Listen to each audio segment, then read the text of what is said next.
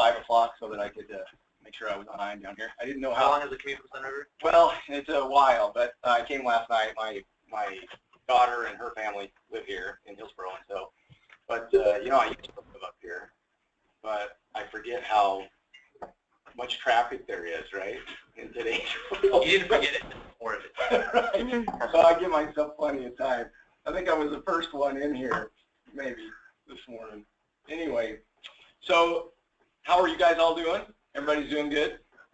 So uh, again, my name is Keith Taylor. Um, now it's not going to work, I suppose. Turn it off. Turn it off and on. I can do it for you. It's not working. Point at me. Next slide. Next slide. That doesn't work. There we go. There we go. So my name is Keith Taylor. I uh, had a stroke uh, a few years ago, and what I do now is my company is Strength After Stroke, and I help other stroke survivors uh, regain their passion, intention, and execution. It's simple as pie. So that's kind of my tagline, and that's what I do. So there it goes. So can you guys imagine, you know, you're owning your own business, you're, you know, making a pretty good income and enjoying your life and working and working hard, but everything's going pretty well. And then uh, all of a sudden you have no control and you're, you feel like you're losing everything. Well, that's what happened to me. So uh, I had a business in uh, Salem and we had it for quite a while. And anyway, uh, so one day I was getting ready to go to Seattle, and I, I started from home. I, I'd start out at home, and then I, I was a sales manager for our company and one of the owners. So I was getting ready to go to Seattle the next day, and so I was feeling really tired, and uh, I never took naps, but all of a sudden I, I needed to that day. And so I took a nap, and I just, I didn't feel like anything was too obvious, but uh, my wife came home from work and checked me all out and did a bunch of tests on me and stuff. And I was like, why are you doing all this, you know? And uh, we didn't think much of it. And so the next morning, she went to work very early in the morning. So the next morning, she took off, and, and I got up and was getting ready to head off to Seattle. Well, um, you know, I, I knew I needed to be on my A game because we were building our company and, and um, you know, I was growing the Seattle market. Uh, so all of a sudden my, my uh, nephew calls me and we used to talk like 6.30 in the morning all the time and just visit. And pretty soon he's like, well, what is wrong with you, Uncle Keith? I'm like, I don't know what you're talking about, you know. Uh, I just thought it was kind of comical, and I said, I'm getting ready to go to Seattle. He said, well, hang on a little bit before you go, and and uh, I'll get back to you. Okay, so then my business partner called me, and it was a similar uh, experience. He was, you know, just chatting with me, and then he's like, what the heck is going on with you? And I was like, again, I thought it was kind of comical. And uh, he said the same thing. He said, you know, before you go anywhere, just hang up next thing I know, my wife gets home from work, now it's still early morning, and takes me to the hospital. You know, and it's like, so what is wrong with me? You know, I get to the hospital, and uh, they're asking me all kinds of questions, you know, and I didn't know my, I didn't know the date, I didn't know my birthday, I didn't know, the only thing really I knew was my wife's name, my kids' names, and that was about it. And I I really thought it was comedy. I, you know, it was kind of hilarious to me. So um, let's see, I had a stroke. So stroke is a leading cause of long-term disability in the U.S. Now we were talking. I was talking to somebody earlier this morning, but does anybody know the stats on stroke? How much? I mean, versus like death, or I don't either. I should, but I know it's a it's a huge huge problem uh, in everywhere, especially in the states, and so it's one thing that uh, I really like to focus on, of course, right? there I am in the hospital. I went to three different hospitals through uh, a couple of days' time, trying to figure out what exactly was wrong. I had a special um, case of a stroke, and and uh, they call it HHT, which not anybody needs to know what that is, but anyway, so uh, there I am with my daughter. So before that, I was this happy, you know, go-lucky guy, sales manager for our company. Um, like I said, we, I was really healthy. You know, I wasn't overweight or anything at the time. uh, we uh, grew our company to over $13 million uh, in eight years, and um, it's not a company that any of you guys are familiar with. I'm sure we we manufactured cabinet doors, and uh, so we would sell to cabinet makers. And so, anyway, we were putting all the profit back into the company because that's what you do. You know, in order to grow a company and to get your company bigger and to keep it growing and healthy, and you got to add employees and all this stuff, you got to put all your money right back into the company. Not like any of us were making a huge amount of money. So then, uh, only 22 days prior to my stroke is when we signed on the dotted line to get our insurance. Is that crazy? So we went through the process with our sales guy, and and uh, and it's a long process, as all you guys know, I'm sure, especially for uh, businesses, and and you know, there's a lot involved in that. But it was 22 days before I had my stroke when we signed on that insurance policy. It's pretty crazy, actually, if you think about it. So can you imagine being the owner of a company, one you help build from scratch, working your tail end off, you know, feeling like you're getting somewhere, feeling like, you know, you know where you're going for retirement. You know, you're, you're building this company and working your butt off and so that, you know, when you retire, you can have, you know, some life right at the end, which is what we all want, right? And then boom, everything changes. And needing a nap every day, I still nap. Believe it or not, I still take a nap almost every day. Uh, you don't remember things. Feeling like you're not adding value to the company. You know, um, I'll take a little second here and tell you guys. So um, this this happened, and we tried a few things within the company. And the next thing you know, I'm being a delivery driver.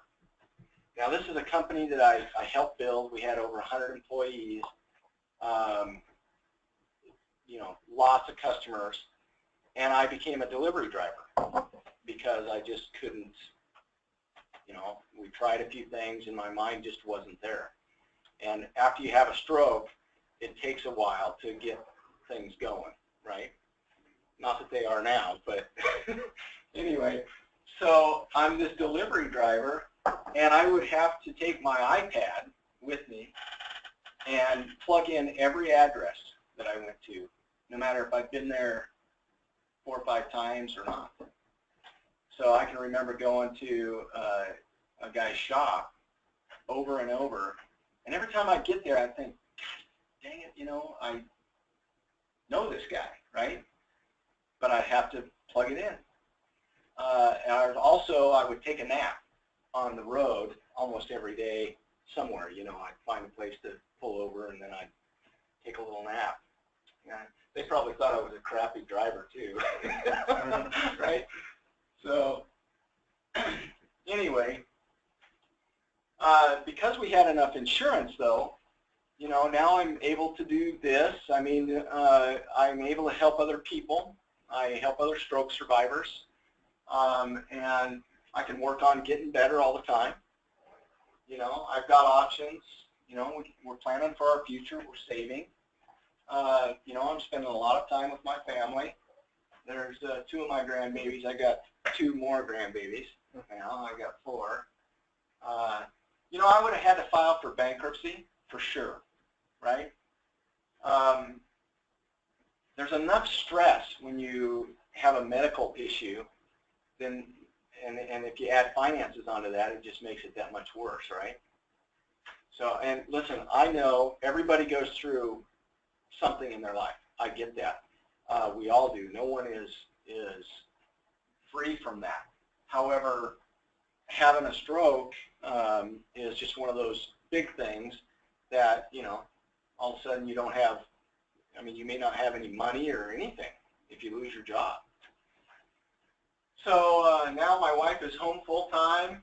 You know, she's not working anymore. I, I get to spend time with my family. My income is where it, it used to be, believe it or not.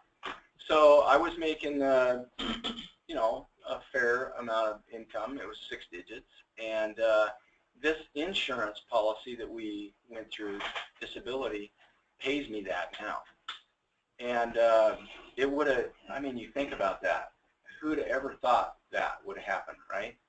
And that's what that's the power that you guys have to help other business people out there. And and so when you, well, I'll get to it, but it's it's emotional to me almost. Uh, you know, uh, if I didn't have that, I don't know where I'd be today.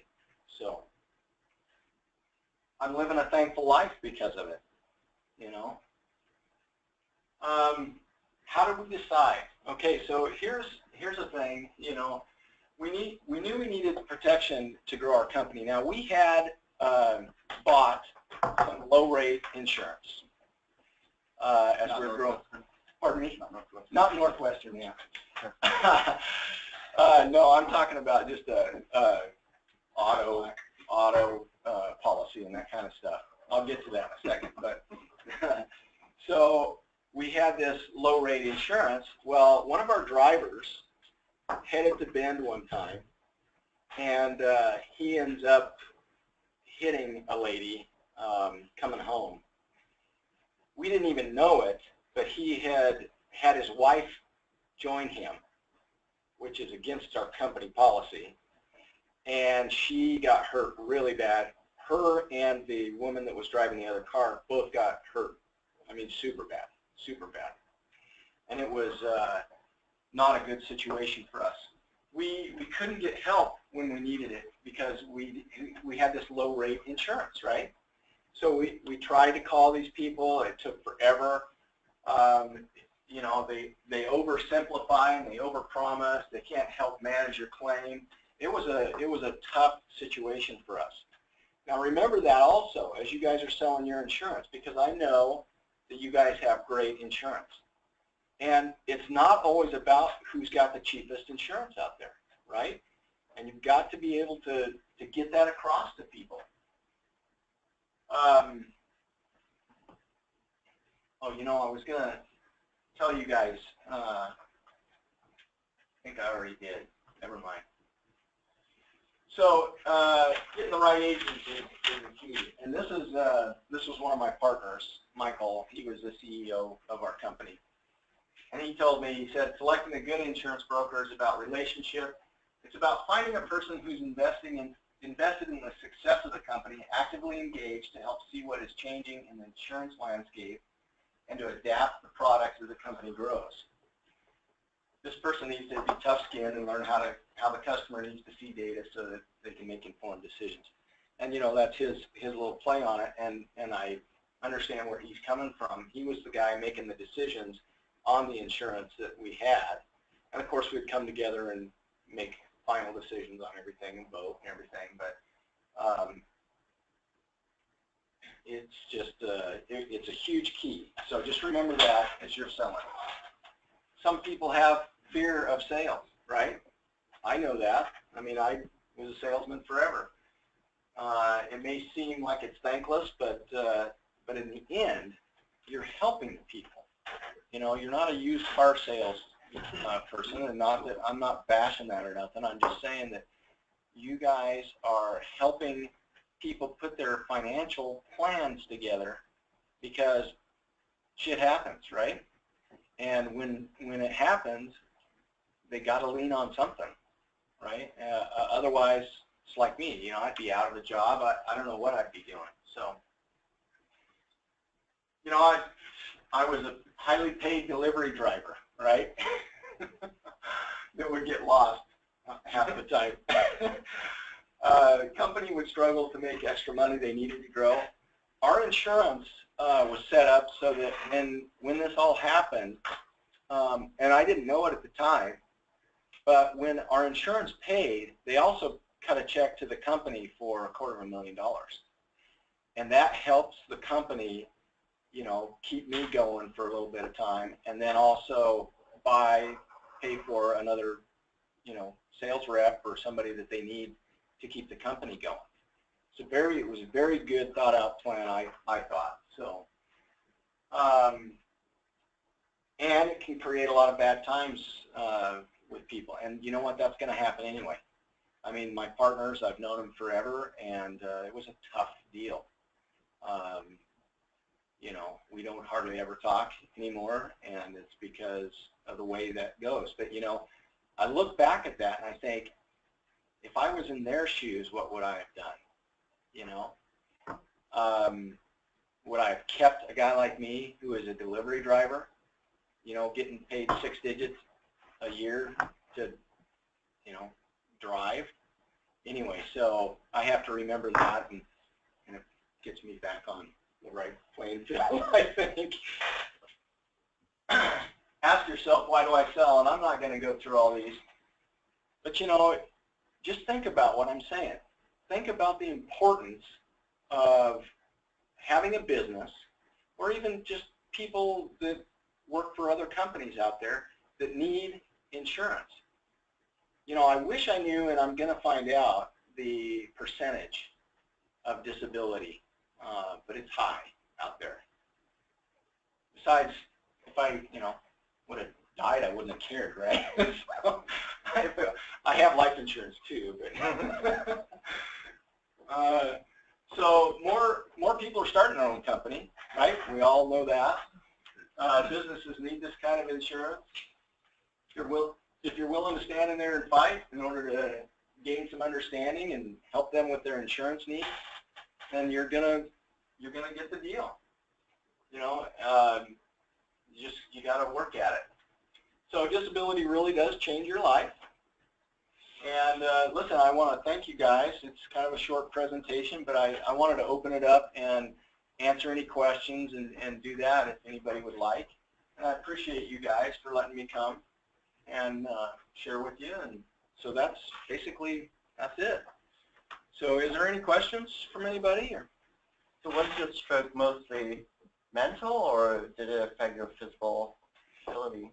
Uh, mostly for me it was mental. Uh, I didn't have a lot of physical um, problems. You know, every stroke is different, they say.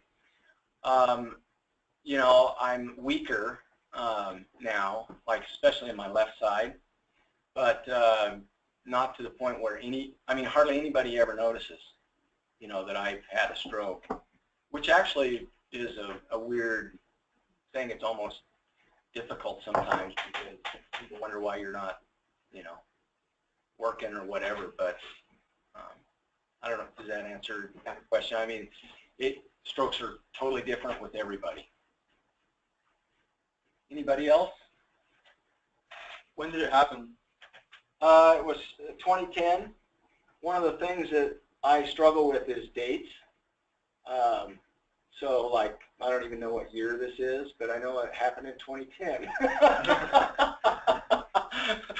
uh, and it was a while ago. But yeah, I, I can remember when it happened um, very clearly. Um, but the dates I don't I don't recall, but I know it was 2010. Any other questions, you guys? So how was the claim process and uh, what was what was the company that you through and was it, was it drawn out? Did they fight you at all or was there? Okay, that's a great question. so um, at first I started, I kept working. I mean, I, I was completely off for months, a few months. And then I started going back, you know, and working, and we tried to make it work uh, because we didn't want to file, uh, really. We wanted, I wanted to stay at the company, and, and uh, you know, I think they wanted me. So anyway, then as things progressed and I couldn't get back in the game, um, we looked into the process. Now, my partners looked into it without me even knowing, okay, for quite a bit of it, which I don't blame them. Uh, and we got an attorney, just in case. We never did need her uh, to fight or anything, uh, because the insurance company did did come through. But it's a process. It takes, um, you know, of course, there's a 90 day, right, Mhm. before they pay, and that's once you actually start the claim. Um, what were some of the other questions? Uh, just how, beyond that, so the claim, uh, so went through that, what was the company and how was just that process in general, but The company is, um, oh shoot, Keith, just a second, I'll think of it. Uh, do you know a guy named Joe Durbin? I'll think of the name of the company in a minute. Um, but, uh, you know, here's one of the things I was going to say in my presentation, um, and, and I'll get back to answer some of your questions, but Joe, I talked to Joe uh, after the fact, and he told me, he said, no one has ever called me uh, and thanked him or, you know, not that he was looking for that necessarily. I think he was, though. Uh, it, it's like he was this lone ranger out there who sold this great insurance, and yet nobody ever even told him thank you, right? It's a thankless job sometimes, you guys, but you got to know you're you're making a huge difference for people, and I've let Joe know that now, of course. But uh, I that to me was uh, weird almost, um, you know. Gosh, I'll think of the name of the company in a second. one other I get paid every month, right? I see it. Now, let me ask you, was it a group policy that, that that was sold to you guys through your company, or was it an individual policy? And I'm kind of curious as to, ob- obviously which one it is, but what made you decide to purchase the policy in that sense? Okay, so it was, they were individual policies, but there were for four of us that were the owners of the company, and that was it. So I don't know how that works in your field, you know, I don't know how that, it, how you do that, but he sold it to the four owners only.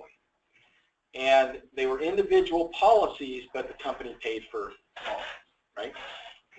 Um, and the second part of the question was, Um, What made you guys decide to? okay, That's a great question. That is a great question. So, you know, here you are, you're running this company, uh, you're putting all the money back into the company to grow it. And, and so, you know, who wants to spend thousands of bucks a month on insurance, right? You'd never, I mean, most people wouldn't think of that. Luckily, Michael had the uh, discipline and the self thought out process to think we need, we need this. And so, um, you know, it was a process. It's, I'll bet it took six months. You know, uh, when we finally reached out and we said, okay, well, let's look at it. And then uh, he got a few different sales reps to come and talk to us. Uh, and I was thinking about this this morning. I don't know if they contacted us first or if he reached out to them. Um, and I'm, God, I'm that I can't think of the name of it, but I, I will. Anyway, um, so it was a process, and Joe went through the process, and of course, we all made the same amount of money, but we were all different. I was the best rated one out of all of our partners. You know, I was uh, not the youngest, but I was in better shape, and I got the best rate. And then boom, you know. And HHT is this, um, it was fairly new then. Uh, not too many people knew about it. Um, hereditary telangiectasia, they call it. Anyway, so um, it's just one of those weird things, right? So I don't know if I'm answering your question very Well, no, no, no, you, you, you are, you are that. I, like I said, I just was curious because obviously as individuals that are out trying to you know, contact people, you were in the position you were in, in that sense, just curious as to what made you decide to, to go with the policy. Was it just the person that approached you or how they approached you? Just, just Right. curious. One thing I want to be sure you guys understand is I am available uh, if you guys ever need to lean on me. I'll give you guys all my business card because I know how it is contacting, uh, you know, other businesses and how you get put off and, you know, no and all this, all this crap. But it's real, right? It happened. And it, it'll happen to others. And it happens every day. And so, you know, if you guys need somebody to lean on, uh, you can use me anytime you want. So I'll give you guys a card. And, uh, man, I, I want to say it starts with a P. Pemco? No.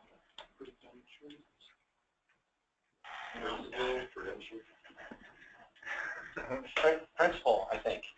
I think it's principal. I'm not positive, but I have a follow-up question. Okay. Uh, we spent, for, for much of your story, uh, it was moving, you got to learn a little bit about how it impacted your family. Uh, but I think we heard you mention that there was also supplemental policies built in to help your company transition while you were moving out of your role. If that wasn't in place, how many employees under you could have also potentially lost their jobs? And how many Yeah. Other households could that have impacted? it could have been huge. Uh, you know, uh, I think about that, that, that quarter of a million dollars that came into the company, uh, was huge. Here I was, you know, I was a sales manager driving sales for our company. For three months, I didn't do a damn thing. And Chuck, poor Chuck, uh, had to take, you know, his job plus manage mine, right? And so um, it would have been devastating, frankly. Now, we didn't take that money until everything got finalized, right? Uh, let me back up because somehow we got like 50,000 bucks from the insurance company right when it happened. And I don't understand how that works. I don't get why that happened, but it was supposed to come to me, right, uh, as a person getting ready to go on disability. But the company took it because I was still getting my paycheck, which I think is fair. And um, anyway, I know it was a tough decision for the guys to make. Um, it was a tough deal to go through, frankly. When when the decision was, I, I remember, and I'm probably boring the hell out of you guys, that one one uh, Saturday morning, the guys call me and, hey, can we come in and have a meeting? And yeah, so bring bring Babette with you you know, my wife. Okay. So we go in and everybody's in, in the office and go in and sit down and, hey, how's it going? Well, we've decided to uh, let you go. You know, here you are a business owner. You built this company. And it was a tough deal. It was tough. Uh, and I had some choice things to, anyway, but you know what? it, it's been good for me. It's been good for the company. I love those guys. Uh, I talk to them now. You know, it just took a little while. Uh, but thank God, right? Thank God that we had that insurance. Now the other part of that question was, so I get a, I get a, a six thousand dollar uh, income, and then I get another thirty five hundred there's 6,000 something and 35 something uh, that is uh, because part of my policy was written if I could do my job specifically for that. Yeah.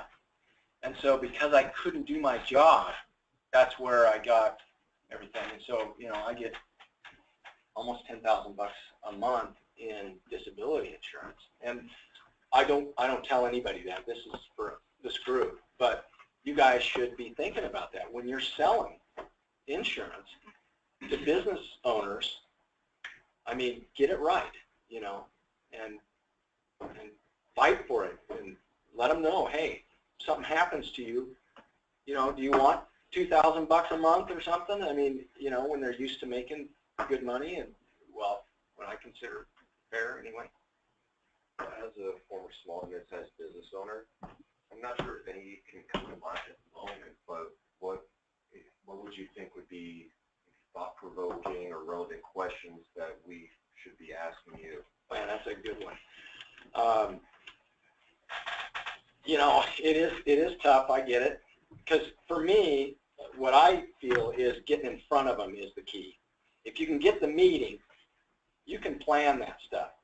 One thing I would say is listen. You've got to be able to listen and not just spew. Uh, so many salespeople um, come in and they just want to tell you everything about their company and how great they, you know, everything is. And it could be. Business owners, people want to say what's on their mind and let you listen and then come back with a solution. And so, for my opinion, listening is the biggest thing. And I'd even be upfront with them and say, hey, you know, I'm Keith, I'm with the company, and here to hear what, what you, what you got, and then go from there. I That's mine. You were in sales, you probably see I'm probably very gonna out on that one I got a later. magic bullet. Yeah, yeah. Anybody else? Thank you guys so much, really. I, it wasn't the best, and it, I don't even try to make it the best anymore. Uh, but, because I know how it is, right? But I sure appreciate all of you, and um, I'm proud of you guys for doing what you're doing. Uh, and I, I seriously, I've got cards, uh, if anybody wants them. Um, and you guys can lean on me anytime if that's okay with you. And uh, I'd be glad to, uh, you got a business owner who wants to hear from another business owner, it won't bother me a bit. I'd be glad to talk to him, so. Yeah, Thank you. yeah, here, I'll just, for you. oh, thanks, thanks. All right. Thank you. Thank you guys so much.